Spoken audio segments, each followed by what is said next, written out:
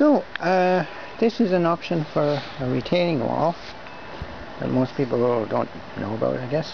Anyway, you've heard of dry stone walls. This would be, I would call it maybe a wet stone wall. And you just mix up clay so soil, so soil that has a high clay content with uh, water in a wheelbarrow.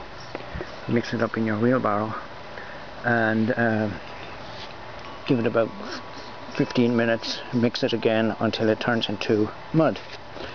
And then you just lay your rocks in the mud.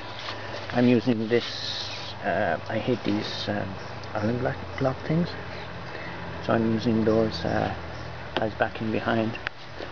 And plants can grow in the in the gaps in the stones so it's not like a, a mortar wall.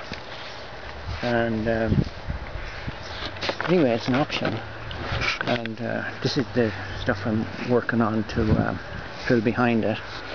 And it's clay soil from down below is what I'm using as the I guess you call it the mortar.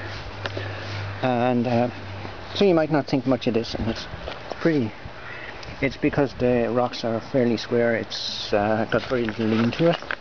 And I did one with uh, less good rocks.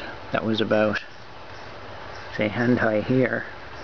About 10 years ago and it was only about this long and about three courses high.